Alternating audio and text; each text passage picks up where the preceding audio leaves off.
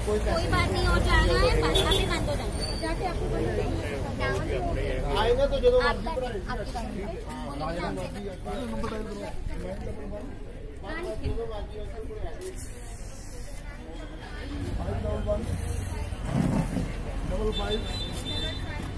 ਇੱਧਰ ਆ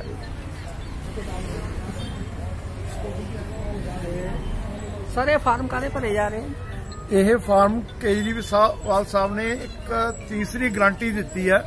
ਉਸ ਗਰੰਟੀ ਦੇ ਵਿੱਚ ਕੇਜਰੀਵਾਲ ਸਾਹਿਬ ਨੇ 18 ਸਾਲ ਤੋਂ ਉੱਪਰ ਜਿੰਨੀਆਂ ਵੀ ਸਾਡੀਆਂ ਬੇਟੀਆਂ ਨੇ, ਸਾਡੀਆਂ ਭੈਣਾਂ ਨੇ, ਸਾਡੀਆਂ ਮਾਤਾਵਾਂ ਨੇ ਉਹਨਾਂ ਦੇ ਖਾਤੇ ਸਰਕਾਰ ਬਣਨ ਵੇਲੇ ਬਣਨ ਤੋਂ ਇੱਕ 1000 ਰੁਪਇਆ ਉਹਨਾਂ ਦੇ ਖਾਤੇ ਵਿੱਚ ਪਾਉਣ ਦੀ ਗਾਰੰਟੀ ਦਿੱਤੀ ਹੈ।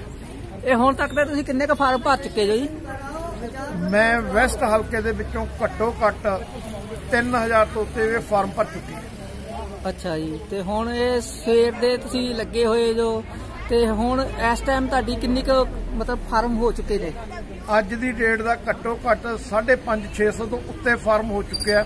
ਅੱਛਾ ਜੀ। ਤੇ ਹੁਣ ਕਿੰਨੇ ਵਜੇ ਤੱਕ ਭਰੋਗੇ ਜੀ? ਅਸੀਂ ਇੱਥੇ ਫਾਰਮ ਜਿੰਨੀ ਦੇਰ ਤੱਕ ਜਨਤਾ ਆਏਗੀ ਜਿੰਨੀ ਦੇਰ ਤੱਕ ਲੋਕ ਆਉਣਗੇ ਚਾਹੇ ਰਾਤ ਦੇ ਸਾਨੂੰ 10 ਵਜਣ।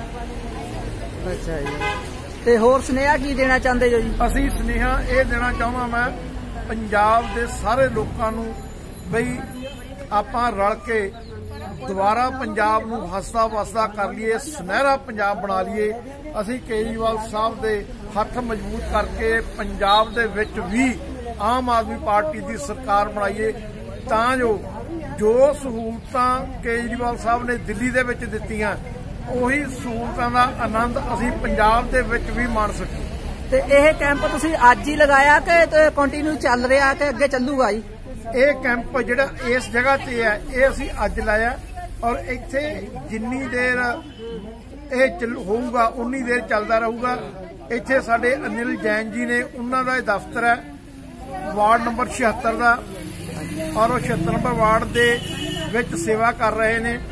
ਅਤੇ ਉਹ 24 ਘੰਟੇ ਉਹਨਾਂ ਕੋਲੇ ਇੱਥੇ ਕਾਪੀਆਂ ਪਈਆਂ ਹੋਣਗੀਆਂ। ਜਦੋਂ ਵੀ ਕੋਈ ਮੇਰੀ ਬੇਟੀ, ਮੇਰੀ ਭੈਣ, ਮੇਰੀ ਮਾਤਾ ਇੱਥੇ ਆਏਗੀ, ਉਹਦਾ ਫਾਰਮੂਸੀ ਵਕਤ ਭਰਿਆ ਜਾਏਗਾ। ਠੀਕ ਹੈ ਜੀ।